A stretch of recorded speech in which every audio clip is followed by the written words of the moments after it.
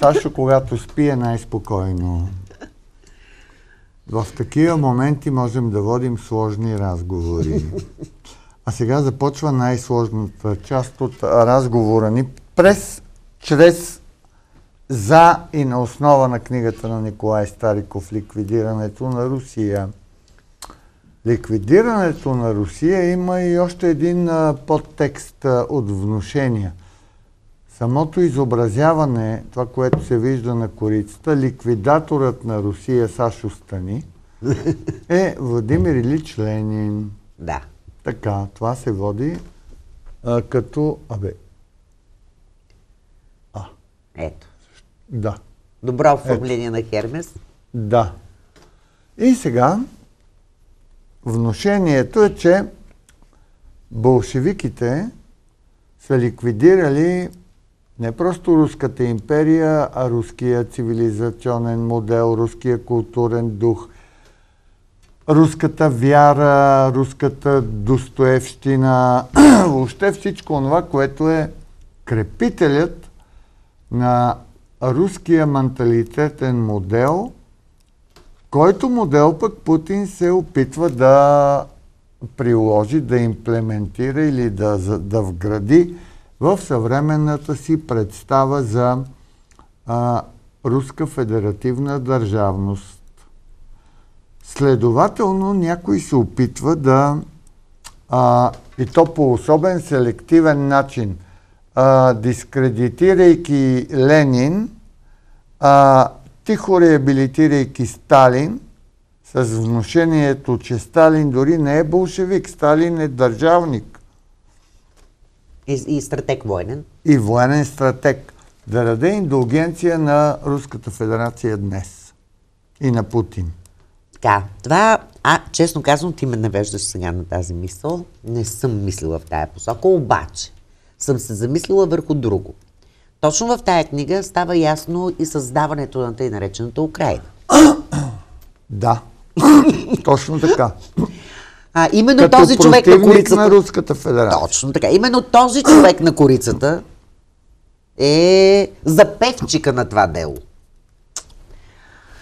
И а, отпращайки нещата към днешна дата, именно тази корекция, според а, Путин се случва и според Русия изобщо. Възвръщане на територии, изконно руски територии. Да, ние живеем в цивилизован свят, в който държавите имат строги граници и те не могат да бъдат променени. Това е наш, нали, наш символ верою. Като цивилизовани, демократично настроени хора. Но руснаците не гледат така на това. Ето как се затваря кръга, за който ти говориш. Украина, създадена от този човек, в крайна сметка сега е в много тежка ситуация. Между другото, аз бях на фронтовата линия. Аз се опитах да вляза по легален път, да премина фронтовата линия и да вляза в а, Крим. В а, Донбас. Невъзможно. Не те допускат. Не те допускат. Не през Русия да вляза. През Русия няма проблем да влезеш. През Украина. Така че а, невъзможно е, просто разбираш ли, деца вика и така стояха с калашниците срещу мен. И ни измисляха сто неща. Че докум... всичко беше редовно, документи, всичко изпипано. Месеци наред сме ги подготвили. Не. Там е доста сложно. А, добре. А, според теб тази книга изисква ли, понеже тя минава за а, много особено, сензационно, едва ли не Скандал. а, скандално на ръба на историческа жълтина, сензационна, Да.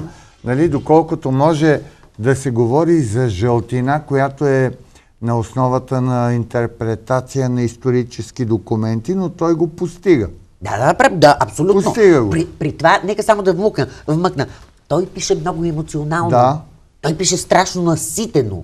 Това не е скучен някакъв е, наукообразен текст. Не, не, не, не. Много емоционален текст е това.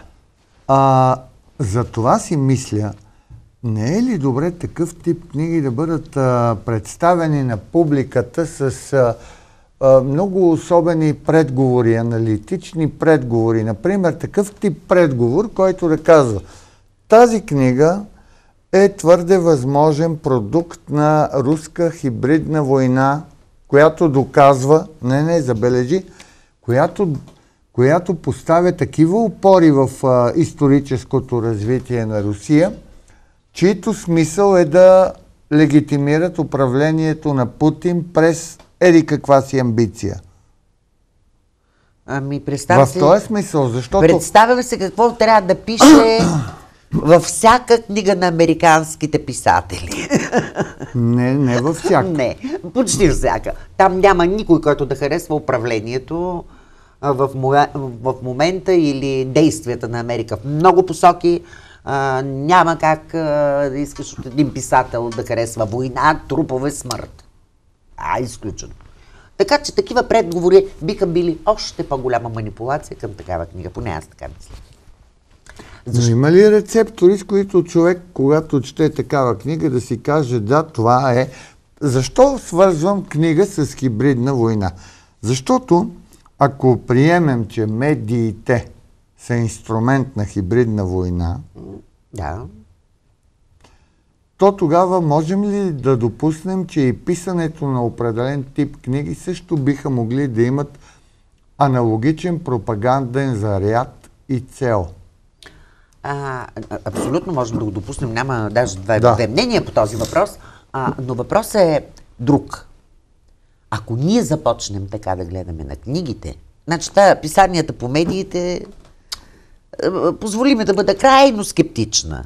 Първо, това са зле написани неща. Второ, пропаганда- пропагандата е толкова ефтина, че тя има обратен знак. Ма Не това никак не е ефтино. не, не, аз да говоря за друго. Да. Точно. Аз говоря за медийните. Да, да. Независимо дали от тук или от там, протестъри ли са, русофиби или русофоби, какви ще са, това е с обратен знак всичко. Толкова е елементарно, просташко. Докато това, това е сериозно. Една книга ти дава храна за размисъл. Аз, за да я преведа, ме ми се наложи да изчита паралелно Аз, още. аз между другото това си мислих, Да. това превода е адски труден на такава книга. Да, ми мен се наложи да прочета още 100 неща. Паралелно чете, защото а, има, остави историческите понятия, но трябва точно да намериш думата, която да сложиш. Защото тя е написана на руски, има еди какво се значение, ама аз усещам втория план, понеже на мен думите са ми силата, не нещо друго. И, и, и, и търся и чета, цели съм чела исторически справки и книги, за да мога да точно да определя какво иска да кажа с тази дума и да подбера правилната дума. За което благодаря, защото така разширяваш диапазона страшно. Много е хубаво това. И така че ви сега, аз не искам да гледам на книгата като на част от хибридна, на чиято и да било книга. Като част от нечия хибридна война. Аз съм се отвратила от медиите. Не искам да се отвратя от книгите. Не, не. Тук има много основания. Виж, книгата запазва своята стойност. Както, например, имаме един сборник речи на Бенито Мусолини «Фашистската революция». Имаме издадени а, разговорите на Хитлер на маса, неформалните Имаме и моята майка. Моята борба, нали. Обаче те се продават с, с съответен предговор, който обяснява каква е книгата, защо се продава, какво можеш да научиш. Да, на Хитлер Нали? книгата може би Примерно, да. а, На Стариков. Ми, от тук ми хрумна, нали? Не, че е, Добре, де. разбира се, тя трябва да се чете, защото това обозначава Боже, начин на мислене. Естествено, всичко трябва да книга. се чете. Добре, де, трябва ли към статиите на нашия бивш посланник в Русия Илян Василев да има предговор? Не трябва. А, самата статия, не, ако това е книга, не, защо трябва да има предговор? Значи предговора се дава на нещо, което има стойност. Естествено. Не, защото предговора ще ти даде прочит. Еми, те по принцип статиите, ако са страница и половина, две, три, четири, пет, какъв предговор и какво Зоро ще ти, кажа, ще ти кажа, защо, ма това е моя позиция. Значи аз първо като... Примерно Одисей на Джеймс Джойс, изток-запад го издават. В момента това, което е изданието, текста на, нали, на, на романа и отстрани върви е един обяснител. Не бе, ясно. Друго да, е. Е друго. Ама Друго. има ли разлика между култура, такъв заряд на познание през културни, религиозни, цивилизационни модели и нещо, което тук върви като воден знак, също като бродерия? Сега ще ти кажа, това е моя твърда позиция. Аз като ученичка а, не четях така наречените а, анали, а, разбори. Литературни. Нали, разбори. Не ги четях, не ги четях, не ги четях. И нямах никакъв проблем да се получавам добрите оценки.